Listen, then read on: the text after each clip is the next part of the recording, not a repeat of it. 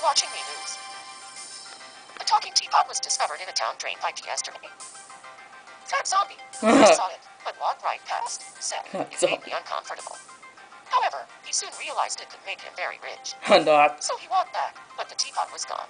Hi. Fat zombie now really regrets losing I'm a little teapot, sword and stealth. This sucks. Oh, hi, Harumi. How are you? What on earth is happening? Yeah, I, exactly how I would say that in a situation like that. This is Cecil Maduro, signing off. Great.